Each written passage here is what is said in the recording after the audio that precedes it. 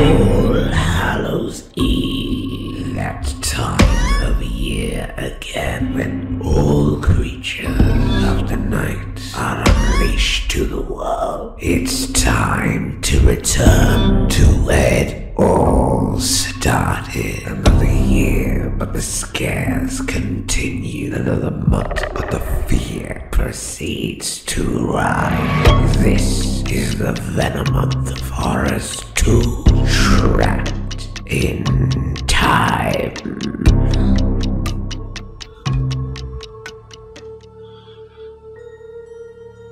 Hmm. Hmm. No more. No more.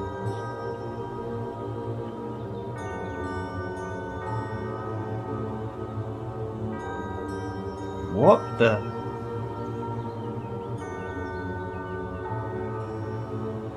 Well, hello there. Rich? I know the journey you're going on right now, and I figured I could help you out. Oh, so you know I'm enduring some of the absolute worst horror movies imaginable. Yes. So instead, I'm gonna show you a good horror film. Well, it's about time. The classic masterpiece known only as See No Evil. You have got to be kidding me. Glenn Thomas Jacobs. Of course, we all know him now as the most recent and definitely most prestigious mayor of Tennessee. But older fans of this beloved gentleman may remember that he once actually brutally murdered his parents, went to a mental asylum, broke out, tried to murder his brother and father, killed his girlfriend and then raped her corpse, forced a woman to marry him against her will before raping her, crippling a middle-aged woman on pure steel before electrocuting the testicles of her son on live TV. He's such an inspiration. Busted. But during his busy life of politics and mass murder, our brilliant mayor of Tennessee also dove into the world of acting, giving us the 2006 cult classic known only as See No Evil. So what do we have here on Rotten Tomatoes? See No Evil is packed with cliches from countless other teen slasher films, making for a predictable, scare-free waste of time. They're just jealous of its cinematic brilliance. They're probably virgins. Hell yeah. Well, Mayor Glenn Jacobs performs all of his own stunts in this film too, so obviously this is gonna be a classic, and you're all about to see why. Kane's name in this is Jacob Goodnight. Does that sound the least bit threatening to you? Ah, WWE films. The death of cinema as we know it. Shut the fuck up! Sorry. So the film opens up with some cops investigating an old house, but immediately this film shows off its true originality with its insane editing skills. Actually, it's just blatantly ripping off Saw's editing. Well, Saw sucks. So what? So they hear a scream and decide to burst in to investigate. That's the police! Hey, shouldn't we wait for backup? You wait. what are these, cops or 12 year old kids? Alright, so we're only two minutes in, and I guess they do take a little bit of inspiration from the Saw movies, maybe? You guess? Shut up. They find a bunch of religious stuff lying around before discovering a terrified woman. We don't get to see her face just yet, but it's not long before our lovely mayor of Tennessee shows up.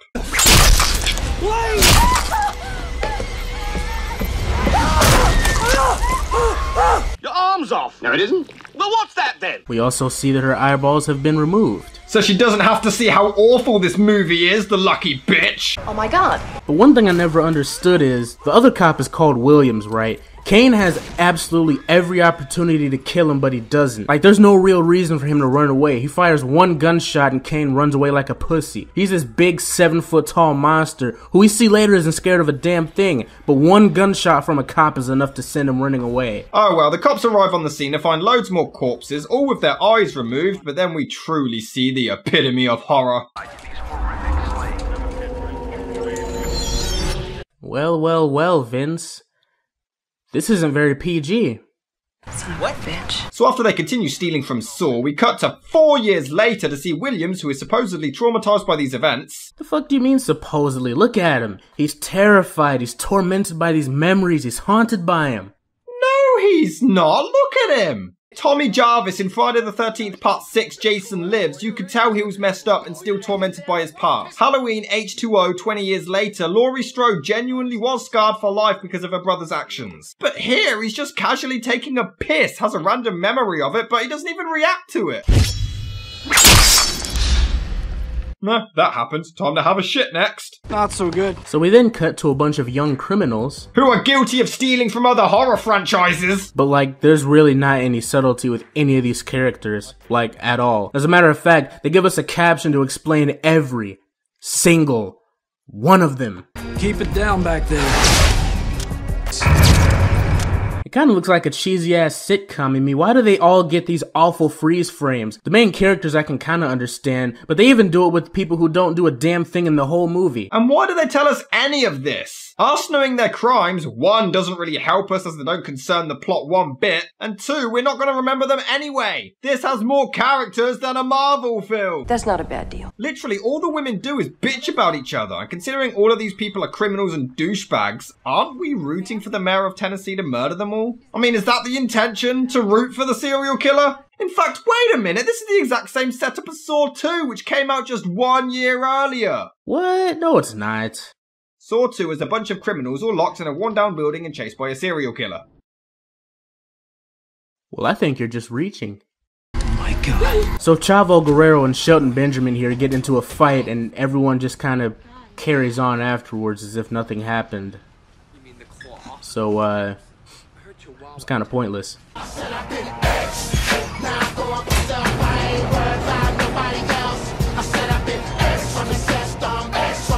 Did you forget they were criminals? Because just in case you did, there's a fucking song to remind you about it.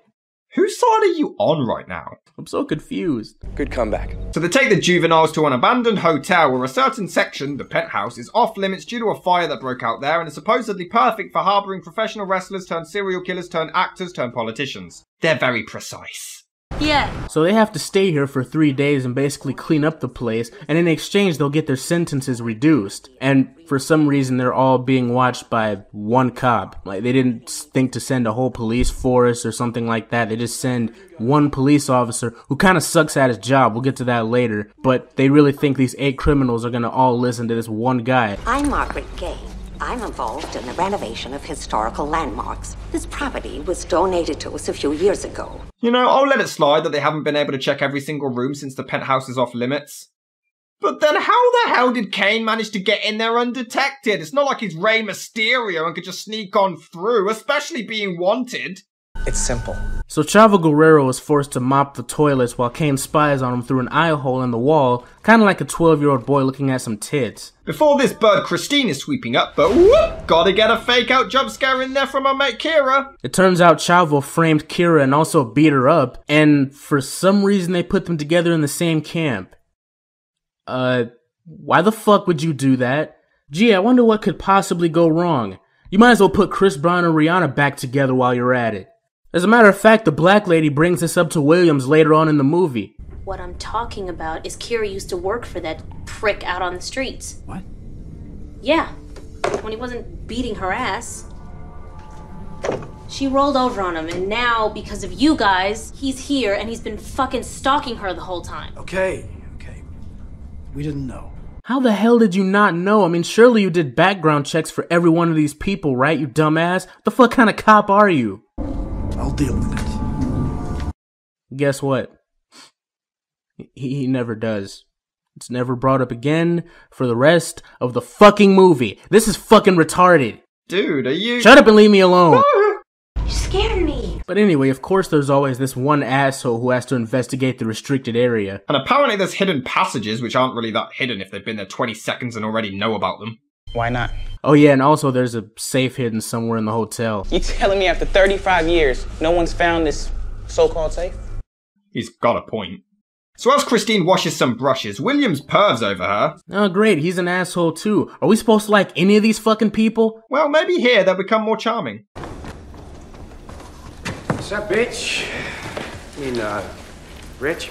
Oh, did you get that? did you did you get that original joke, Rob? Did you get it? Did you get it?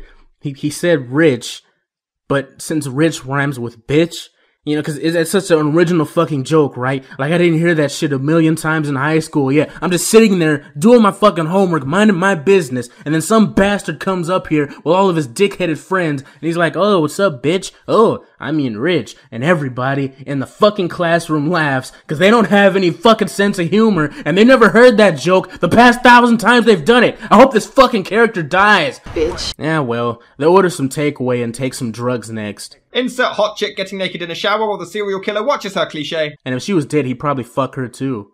What are you talking about? She does actually spot the peephole and assumes it's Mike, but he shows up anyway, which freaks her out a little. And despite Williams earlier promising to look into the situation with Kira and Mike, here's Mike getting in the shower, putting his hands on her again. At least I got the cops right. But Christine simply asks him to let her go, and he does. Why the hell would he listen?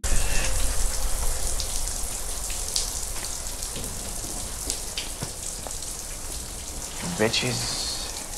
What is he, 10?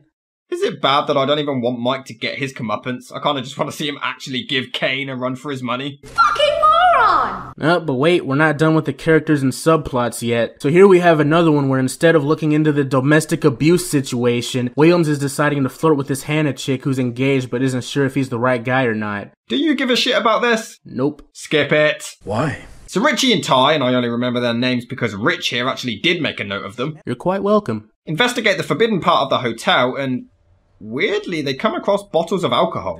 I guess Kane has to calm his nerves somehow. Oh, and they also find a fresh corpse with no eyes. But instead of running and screaming like, I don't know, any normal person might do, they have to search him for money because, you know, the criminals, just in case you forgot that they were criminals. No shit. And it's the white guy who runs away while the black guy stands his ground and investigates the dead body. So unrealistic. I think you're wrong, dog. I must admit though, Kane's first real appearance is actually fucking awesome! He comes out of the lift behind Richie, we just see a smirk and it is so badass. But then when he starts killing him, it's just edited far too rapidly to really enjoy or take in what the hell is happening. Saw had that editing because they were traps and the fast-paced cutting allowed us to see every aspect of that trap in a short period of time. They were also on a low budget, at least the first one was, but this had the WWE funding it! So close movie. So close. You know what? You just don't appreciate true art. That's why Cinematic Excrement's better than you. Of course it is. Oh, but wait, this Hannah chick is on the move. Let's see where this is going. Guess I'm not waiting on anything. Bitch, you are so dead. I'm just waiting for the blood dripping down on her cliche.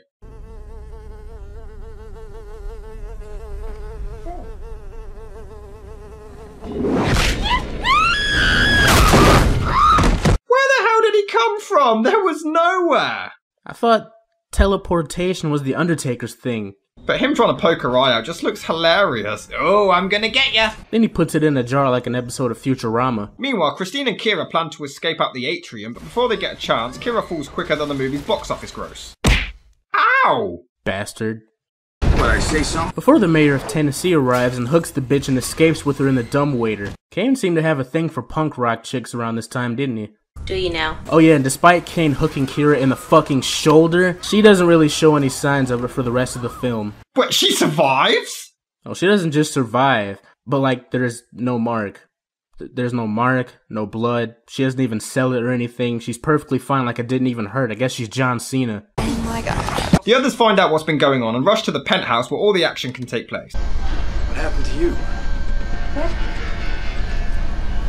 Nothing. That's not even my.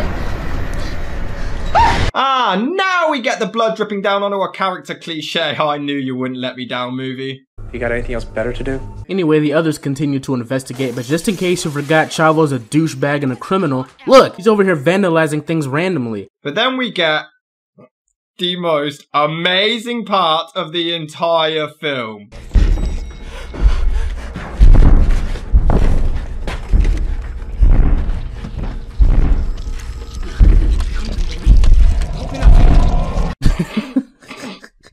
Okay, that's amazing. His footsteps shake the entire house. Is he a T-Rex? What the fuck is going on? So the black chick describes the mayor of Tennessee to Williams, who ends up remembering him. Huh. What are the odds that Kane just so happens to be doing this during Williams' time on the job? Last time he killed all of his victims except one. You think he was keeping her because she had tattoos. what? Okay, that doesn't make any sense. How did anyone deliver this straight face? You think he was keeping her because she had tattoos. So to summarize, he apparently saved this previous lady because she had religious tattoos, and ironically, Kira also has religious tattoos. This should be called See No Coincidences. Why would religious tattoos stop him? It's fucking tattoos. Oh shit! Oh shit, Michael! Oh shit! wait, Wait, wait, wait, wait, wait, wait, wait! Look, I got a crucifix. Huh. Alright. My problem with this movie is that it's just the same cliche, generic.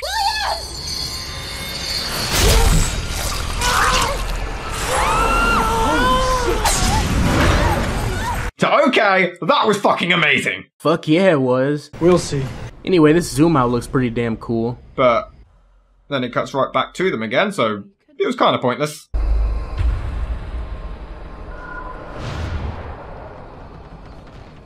keep seeing things. Like a shitty script. Aha! Shut up, you asshole. You're a bad influence. So Kane's got Kira locked up in this cage and decides to give her a very important message.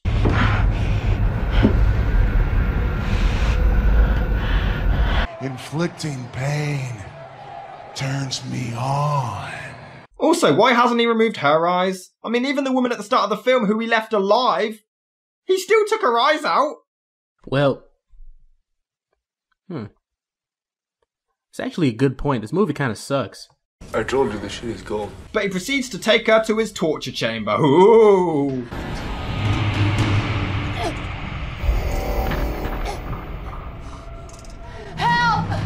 Wow, that sounded convincing. Sounds more like she needs help finding a parking space. Not fighting for a damn life. Help! But Richie is somehow still alive. Kane removes his eyes, but it's not nearly as funny this time because it's just getting old now.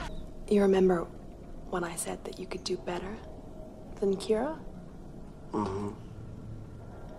Well, I didn't mean this much better.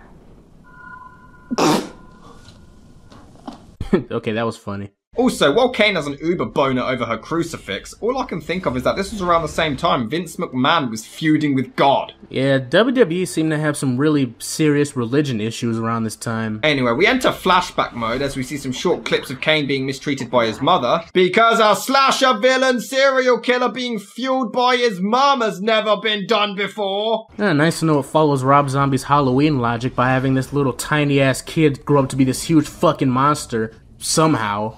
In fact, an angry, evil religious mother. This film is ripping off Carrie as well. Jesus Christ! But don't worry about that. We're 47 minutes in, so now it's time for the cliche generic horror movie sex scene. For some reason, they're fucking in a rat infested hotel on a dusty ass bed. Eh, I guess I can think of worse places I've fucked. What the fuck, man? And apparently, Kane has rigged up every single bed in this damn hotel so it triggers whenever people have sex or something. Why does he even do this when it's abandoned? Why if someone just naps and fidgets a lot? And how many beds must there be in this place? Eh, it doesn't matter. James Franco's twin checks out this mirror that his girlfriend is suspicious about. Oh, let me guess. Kane is gonna jump out of the mirror, ripping off Halloween Resurrection. Get up, go! Oh! Well, damn. That was actually kind of cool. Then he breaks through the wall like the damn Kool-Aid man before chasing them away. And for some reason we get a quick shot of a rat running away. I mean, it's not like he's chasing the rat, it's just weird. They decide to hide in a closet because apparently a wooden door will stop a seven foot tall destructive machine more than just continuous running. He just jumped through a mirror unharmed. But in the closet, guess what? They just so happen to discover a hose to tie themselves to to escape. What are the fucking odds? I have to admit though, there is some amazing suspense built here. She starts to get lowered down, but then her boyfriend falls silent. After a while, she starts to get pulled back up and it's Kane, but she begs for mercy. Very poor choice of words.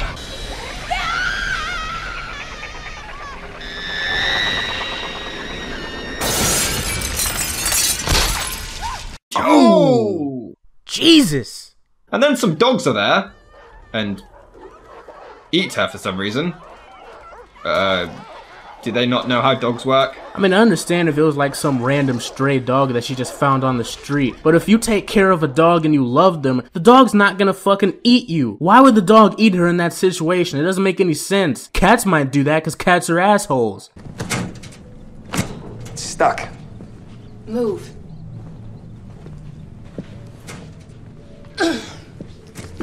it's stuck! No shit. Nah, who cares? That was funny. Oh my god, shit! Yes! Here it is! The greatest matchup of all time! Business is about to pick up! It's fire and brimstone! A true slobber knocker! Vintage Kane! So after that orgasmic showdown, Kane begins to search for them until one of their phones go off. And his face is hilarious. It's more like he just realised that he forgot something.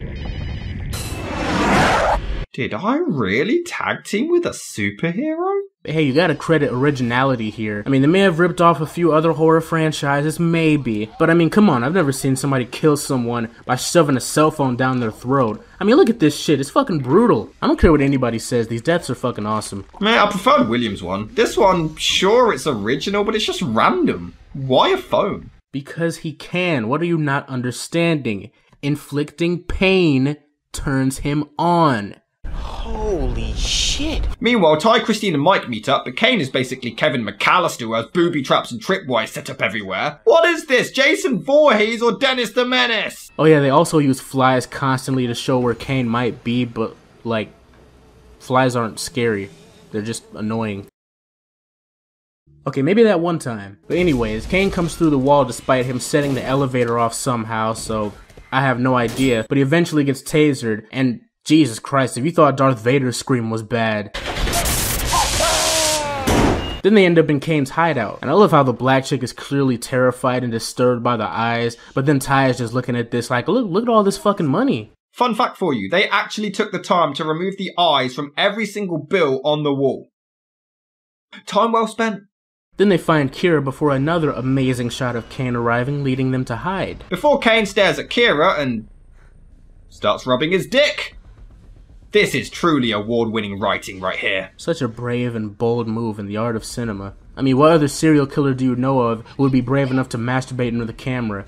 Come to Papa. That doesn't count. This is when we get another flashback and we finally get to see why Kane is on such a rampage. You filthy little pig. You enjoy this, don't you? Oh, I can tell you do. I see that. I see what you're doing. Stop it. So let me get this straight. Oh boy. Kane is murdering absolutely everyone in his path because his mother caught him masturbating. That is literally the reason given. What the hell is wrong with these people? That was the best they could come up with? So they lure him out while trying to save Kira, and then, after all of this suspense, after all the creative deaths in this movie. Really? Creative? After all of that shit, and even after all the tools that he probably could have used, he just pushes a safe up against him. That's seriously the best you can do?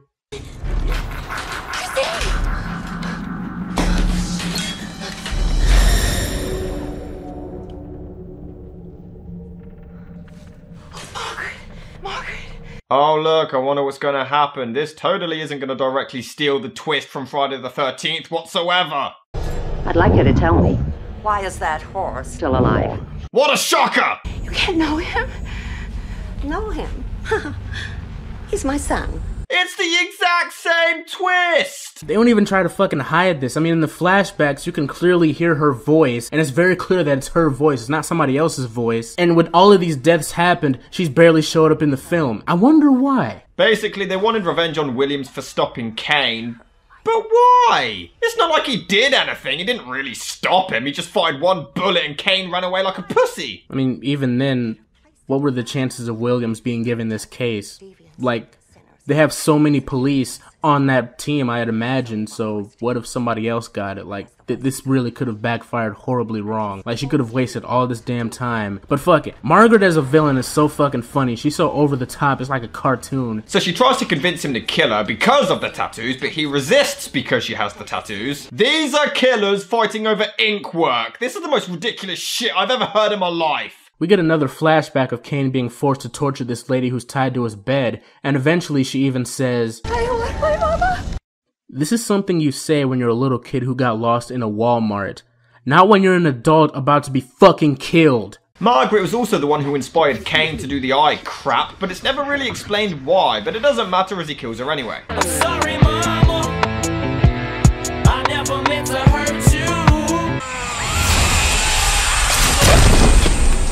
I love her face right before she hits the wall too, it's actually pretty funny. But he's not done yet as he releases Kira and carries her away, but then they realise they have no story left so they just decide to have him rock back and forth in a catatonic state. But instead of just shooting him while she has a clear shot, she takes the time to put herself directly in front of Kane's face, as close as possible, and cocks the gun back so we can hear it. These people are fucking retarded. But whoop! Turns out there's no bullets left and it wakes him up in time for a double choke slam.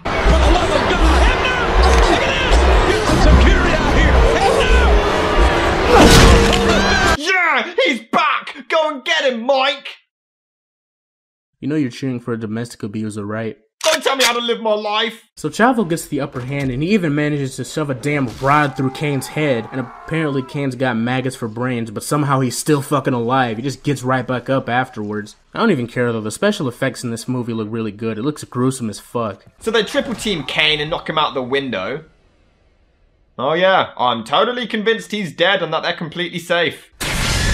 What a surprise. They must have really not wanted a sequel to this movie because they kill Kane off in the most overtop and extreme way possible just to be sure he can't come back. Like he gets a pole in the eye, he hits a bunch of windowsills on the way down. Which looks hilarious, by the way. He falls through a glass and a shard of glass goes right through his heart. And they still made another fucking movie.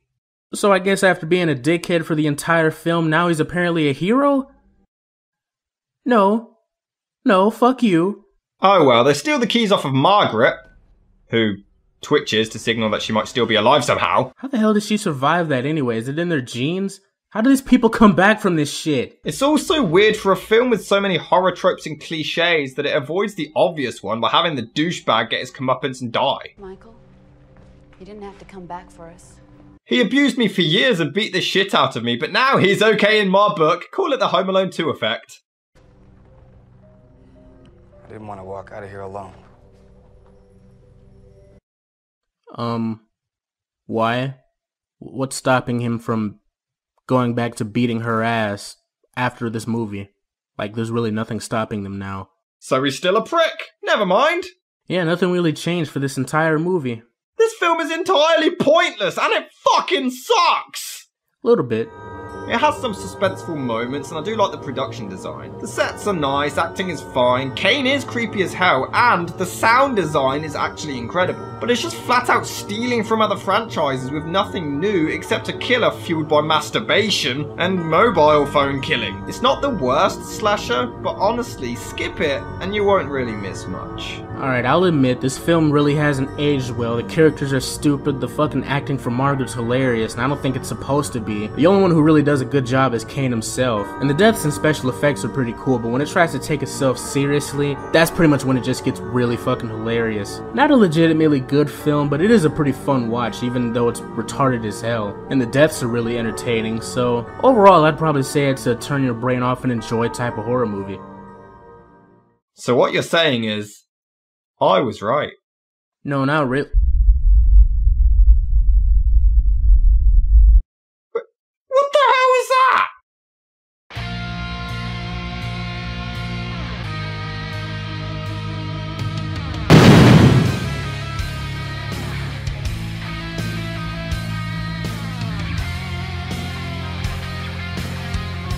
Oh my god, it's Kane! Oh shit, I'm out this bitch. Dude, Oh run! shit. Oh my Oh, shit. I tried to warn you. Don't make fun of me. Kane, no! Oh my god, oh my god, oh my god, oh my god. I always thought you were better than The Undertaker. How stupid do you think I am? Ah! Oh, no. Okay, I'm sorry. No. I know as soon as I walk out of here, you're gonna make fun of me and laugh your ass off at me. Please let me go, Mr. Jacob Goodnight. Jacob Goodnight. I'm sorry, I'm sorry. You need to feel my pain! Oh, Katie Vick's a whore. Oh, I'm sorry.